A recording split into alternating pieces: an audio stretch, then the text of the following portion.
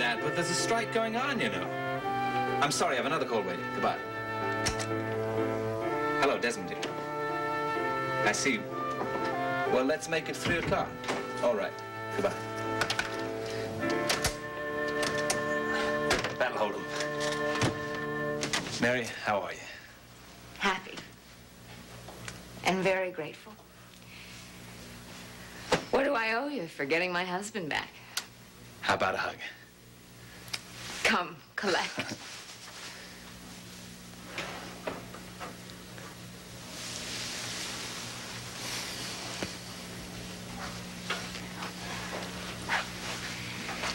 I guess that was stupid. My fault. I did want to thank you for your part in this conspiracy. Oh, the smile on your face, the light in your eyes. That's all the thanks I need. Uh, it just doesn't seem quite right. I feel so whole again and so wonderful. I want something good for you, too. All in good time. What did I do after all but aid and abet your mother in her scheme?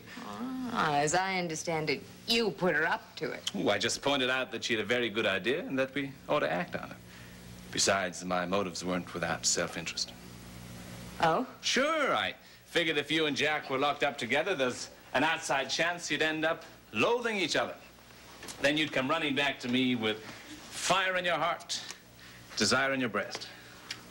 You saw that as a possibility. An extremely remote one, but I thought I'd wait and see. Tom, I'm sorry about all this. So am I. But I'm not left too badly off. I can live on my fantasies for a while. I'm not sure that's so healthy. Of course it is. It's the best thing about unfulfilled love. All the things you never know about each other. Who squeezes the toothpaste from the middle? Who hogs the covers at night? I already know you snore. Oh, I see. Hmm. You'll always remain in my memory in a state of sheer perfection. The unattainable. Tom, please don't talk as if we can't stay friends. Of course we can stay friends. Only on the darkest days will I sit in my lonely tower and think. You could have had a splendid time, Mary. If things hadn't been so um, irreversible for me, You love Jack. that's right. But if I didn't, I just... You love me. Oh, well, half a loaf. Mary, there's one thing I want you to know. What's that? Whatever happens, you can, you can count on me. I'm your friend. I know.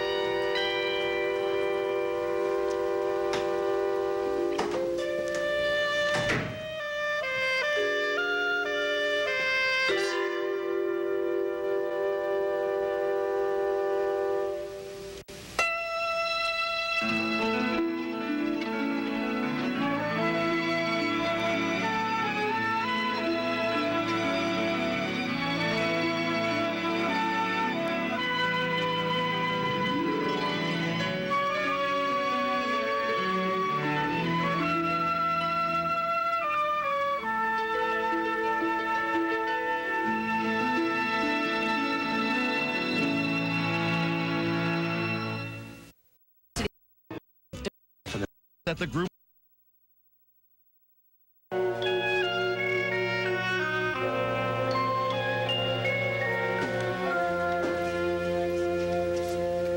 Alicia? Hello, Delia. Hey, um, you got a minute? I came over here just to speak to you. Well, you know, we're all pretty busy. The strike is on. Oh, yeah, I know. How, how would you like to go out for some lunch? No, I, I have a half an hour and I'm meeting Bob. Oh, that's great. That's great. I'm really glad the two of you are together. You know, he likes you an awful lot. You know, I- Delia, I, uh, really have to go. I have twice as many things to do as usual. Please. I, I brought you something. It's from that little uh, specialty shop over on Broadway. See, they've got this whole new line of perfumes. It's uh, supposed to smell like fresh fruit. This is the uh, citrusy kind. It smells like oranges and lemons. Very sexy, though. That's, that's very nice, Delia, but uh, I cannot accept a present from you. Why not? I wanted to thank you because you helped me get better. I did. Yes, I see that you have made an incredible recovery, but I doubt that I had anything to do with it. Oh, no. Oh, no, you had a lot to do with it. And this was a terrible time for me being locked up in this hospital. No, I've gone through some very, very bad times before. See, I, I was scared, and I was sick, and the ter terrible thing about it was I, I couldn't do anything to make myself feel better. But you learned. Oh, I learned, but I learned from you. See, you talk such sense. You know, when you told me that, that I was hurting the people that I loved, well, that gave me a certain kind of a willpower so I could pick up the pieces of my life and put them back together again. You know, you really are amazing. Dr. Pagano has been so nice to me, and Patty is so happy that I'm home. I want you to be glad. It's very, very important Oh. I'm glad, Delia. If Pat and Bob don't have to worry anymore. Alicia, you don't understand something. Patty likes to worry about me. That seems very sad to me. But it is your life. I have to go. Wait a minute, wait. Wait, you really don't understand this. When Patty and I got married, he vowed that he would take care of me. Do That is when that? he thought that you were carrying his baby, but you and I know different, Delia. And you and I know that you are not alone in your apartment. You are right here in this hospital, and it was before your wedding day. Why are you doing this to me? Look, you promised you wouldn't say anything to me. I haven't said promised me. anything to anyone, but I get so tired of listening to you lie and making everyone worry no, no, about no, you. No, half lies, half lies. I, I got pregnant, and Patty was the father, and he felt responsible to me, and he wanted to marry me. Maybe you don't understand something. I've loved Patty my whole life. Now you're making me feel as if these feelings that I have are wrong. It's not up to me what you feel. But lies are wrong. No. No, no, not when you're trying not to hurt somebody. No. Well, you and I just feel differently about these things. No, wait, wait, Alicia. Alicia, look, you gotta promise me something. I don't want you to tell anyone, please. I'm counting on you. and Don't you ever get apart. tired of counting on everyone? Do you know that you use people like if they were crutches? You won't tell, will you?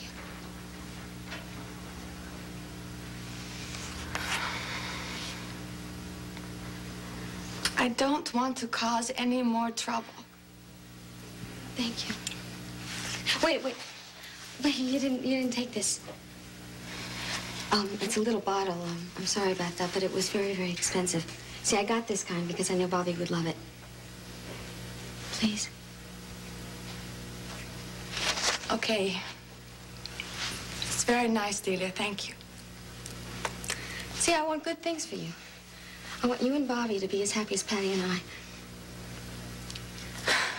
Thank you. Well, I better be going. Bye-bye.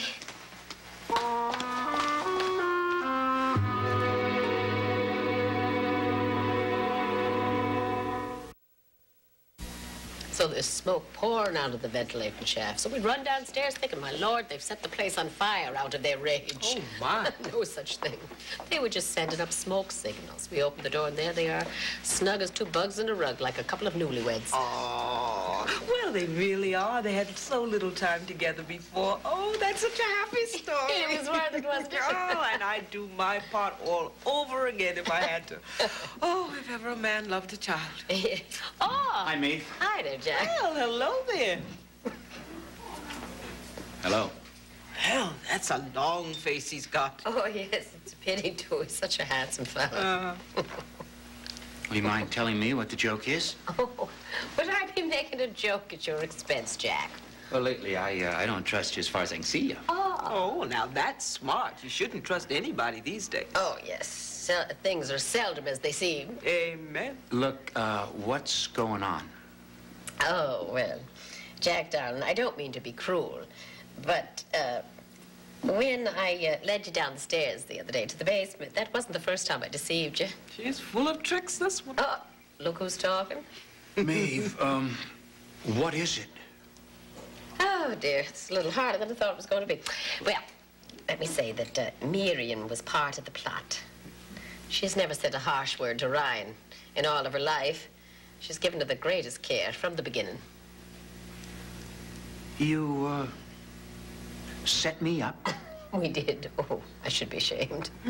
I told Maeve I'd seen a young man in the park who liked Ryan very much and even gave her a present. And you put two and two together. Well, I didn't need a college degree. You see, and then Miriam and I hatched this little plot. Oh, and she carried out her part. Grand performance. Well, you sure did. Uh, w- w- l- l- let me get this straight. Uh, it was all a hoax? I'm afraid so. Then you never hit her. R- Ryan, Oh, now, would I hit my little darling? I had nothing to worry about. No, but it was just as well that you were one followed after the other, you see.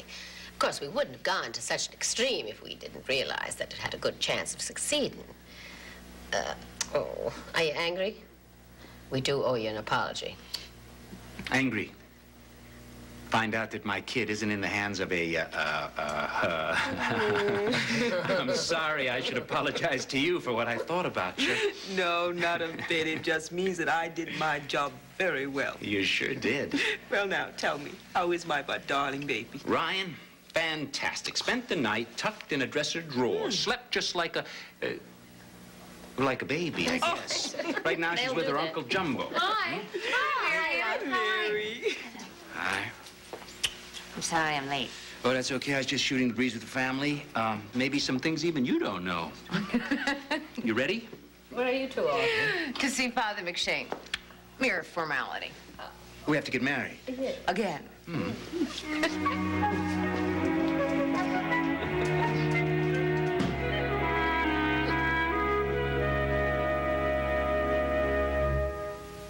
On the Sunday night movie, Life is Hard. is one. All this for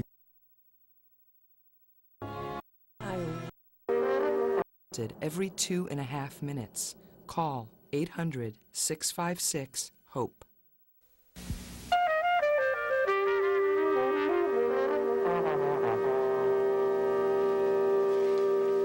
Hi. Oh, Bob. I'm late. Uh, Alicia hasn't been here yet, has No, she? she did not get here yet. How are you? Oh, I'm great. My little sister's getting better. I got a nice lunch date. Everything's roses. Ah, and here's your pretty friend. Hello. Hey. I'm sorry. It's a crazy house across the street. You know, the strike. Oh, it's sad that it's come to that. Yeah, well, I think they may have brought it on themselves. Of course, it makes double work for some people. hey, you smell delicious. What is that? It smells like, uh, like an orange popsicle. That's good. Yeah. Hey, come on. I used to love popsicles when I was a kid. Do you? Turn- That's a great turn on. I think you better to get over to a table. What can I bring you? Um, just a cheese sandwich. I Oh, no, you don't, kiddo. Come on, you've been working a double shift. Maeve, could we have two bowls of lamb stew, a nice hot pot of tea, and an apple tart? Is that okay with you? If you say so. Coming up. Boy, I tell you, I do like that smell. I'm glad. She will be glad too. She gave it to me. Oh, really? How come? Did I miss a birthday or something? No, no. She just uh, said that I had been helpful to her at the hospital. Ah. You know, I, I didn't want to accept it, but she was so hurt when I refused. She's really a very strange girl. Strange.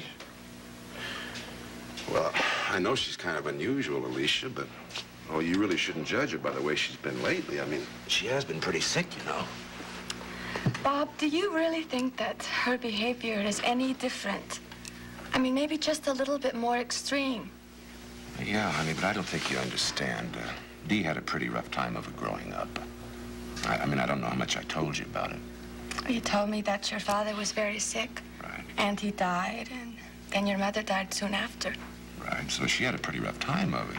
I mean, my dad was in a mental institution, and she kind of felt that set her apart. She, she couldn't talk to anybody about it. I mean, Mom used to work all the time, but there wasn't enough money for food or, or clothes. I mean, Dee never really had any pretty things. Except maybe once in a while. Uh, I used to have a couple of jobs on the side when I was going to school. And I remember one time Delia was going to her first dance, you know, and Maeve was working, on making over an old dress at Kathleen's. And well, it still needed that one little thing, you know, so, so I had about oh, 12 bucks saved up. And That's a lot of money back then, come on. So I went downtown, and Mary Ryan went with me, and we picked out this nice, uh, kind of silky scarf-like thing that went around the shoulders. You mean a stole? Yeah, yeah, yeah, a stole. Well, anyway, she put that darn thing up. She wrapped herself up in it. She looked like a million bucks. Guys couldn't take their eyes off her that night. How did her big brother feel about that? Made her big brother proud. Of course, I had my hands full keeping an eye out for her. You know, it seems to me that Delia was very lucky in a lot of ways. No. No, I tried to do what I could for her, but I could never make it up to her. You see, she missed an awful lot. What about you? How do you mean? I mean, you talk about Delia's childhood, all the bad luck she had. But you had it too. I mean, all the same things. It was your father, it was your mother. Yeah, well, of course, I was a lot older, you know, and I, I think it's easier for a guy. Don't kid yourself. Anyway, I think I got a lot to be grateful for now. Me too. Yeah, here. Excuse me. Sorry it took so long. It's just, well, I'm here by myself. I don't, uh, I don't know what's with Kevin and John. Well, Oh, that's all right, May. Thank, thank you. No problem. enjoy yourselves. Yes, thank you.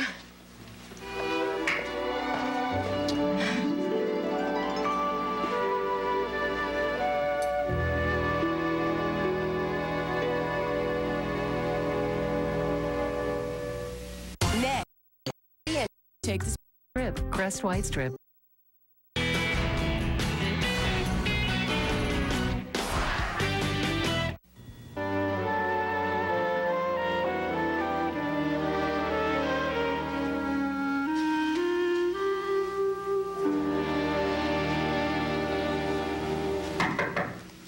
Oh. Do you have a minute? Mary, of course, always. Come in. Uh, no, Father. I think you should stay sitting down.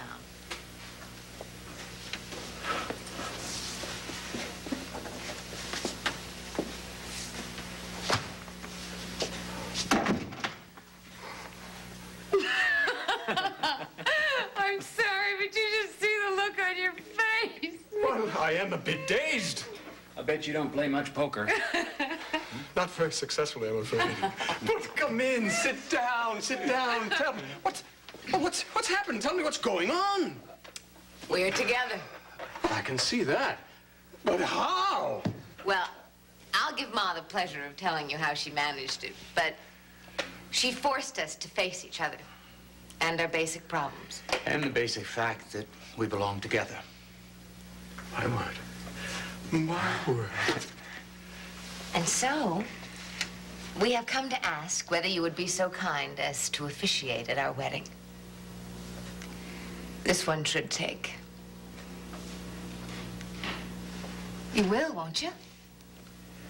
Mary, Jack, nothing could have given me greater joy than to see the two of you walk through that door. But you must understand, this is a grave circumstance. Jack, the church heard your claim for an annulment on the grounds of fraud. After some deliberation, they took you at your word. How do you feel about that now? There was fraud, all right, Father. I was the fraud for getting an annulment at all. I was sick and mixed up. And I lied to myself before I lied to the Chancery. By the time I got there, I didn't know what was true. But what about your claim you never wanted children? You had witnesses. Johnny and Jumbo were telling the truth about what I said. But they both knew that I hadn't meant it. I, uh, forced them to testify. I don't know what to say, except I'm ashamed and sorry. I did have my reasons, even though they don't make sense now. As I remember, you felt that Mary and the baby could get along a lot better without you. Married seemed to be going bad, and there was trouble with her family. Yeah, I... I thought she and Ryan would be happier in the end without me. I never figured I'd fit into the Ryan scheme. What makes you think that will be any better now? Well, I, uh, I got just what I wanted. Uh, all the privacy in the world. But after Mary, it, it just didn't work. Now, there was one thing I was always straight about. I, I never said that I didn't love her. And now I learned that I love my daughter, too. I see. Well, I hope the two of you don't expect any overnight changes in each oh. other. You're the same people you were before. We know that, Father. The worst mistake I made was trying to push Jack into a mold he didn't fit. And it's so ironic. Because I'm in love with the man he is.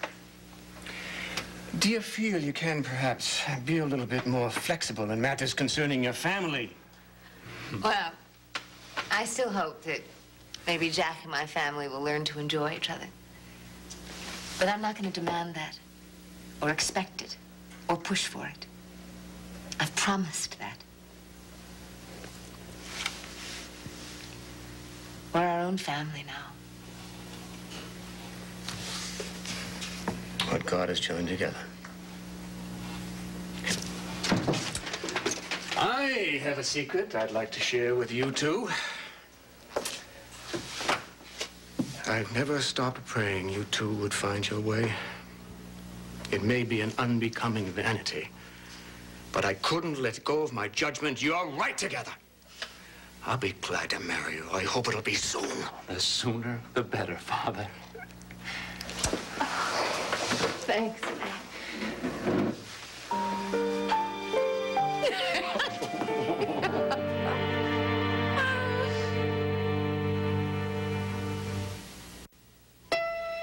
Devane reunites with past love Robert Scorpio as the night shift becomes the center of a racial storm. The hospital drama you can't miss. An all-new General Hospital Night Shift. Tuesdays at 11 p.m. on SoapNet.